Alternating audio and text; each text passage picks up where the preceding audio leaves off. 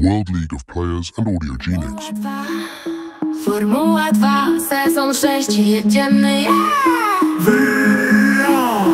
Formuła 2, Formuła 2, sezon 6, czas na Formułę 2.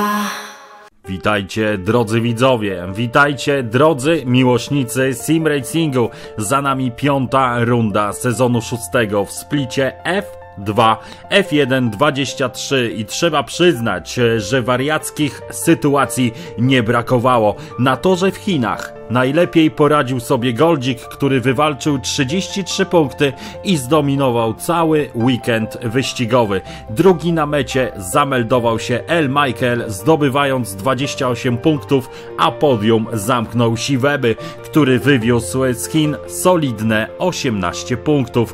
Kierowcy dali z siebie wszystko, a walka trwała do samego końca, ale to nie koniec emocji. Już Dzisiaj o godzinie 20.30 odbędzie się kolejna runda, tym razem szósta tego sezonu. Jaki tor zostanie wylosowany? Kto zdobędzie najwyższe miejsce? Czy czeka nas kolejne wariackie Grand Prix? Przekonajcie się sami oglądając transmisję na żywo.